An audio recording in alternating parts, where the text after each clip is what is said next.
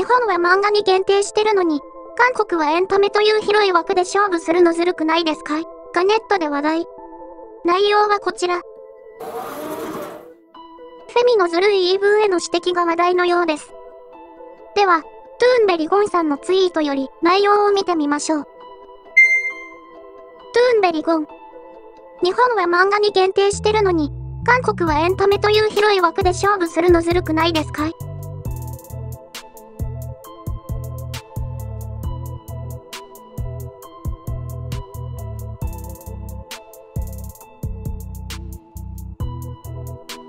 日本に勝ちたいからといって、ずるい手を取るのは卑怯ですよ。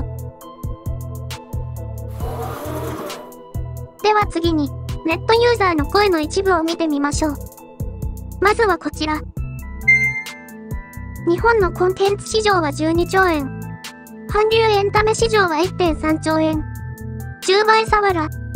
漫画市場と比較するなら、漫画市場であるべきなのに、話にならないから、唯一勝てるエンタメの韓流、K-POP を持ち出してるわら。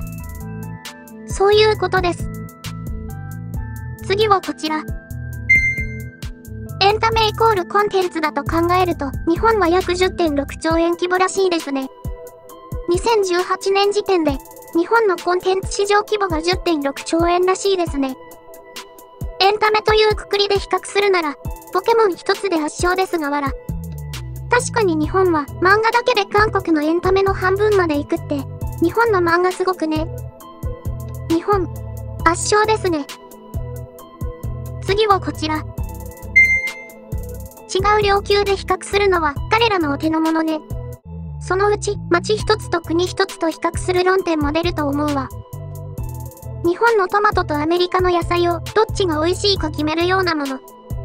ゴールポストを勝手気ままに動かすのは彼らのよくやる手です。あちらの国は国単位でゴールポストを動かしてきますからね。レーダー照射がいい例です。最後はこちら。なんであっちの界隈って何かにつけて、〇〇の方がすごいもん、とマウント取りたがるんでしょうね。K-POP ってなんだっけ？なんとかポップも、アドさん一人に束になっても勝てないとか言う。K-POP は怪しいですが、アドさんは本物ですよね。結論。そもそも K-POP は不正操作のイメージと日本のメディアによるご利用しのイメージしかありません。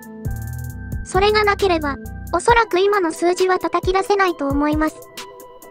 それに比べて、映画、ワンピース、フィルムレッドのアドが歌う新時代に対する世界の熱狂ぶりを見てください。あれが本物ですよ。そして日本は漫画だけで韓国エンタメの半分もの売り上げを出せるってすごいことですよね。誇らしい限りです。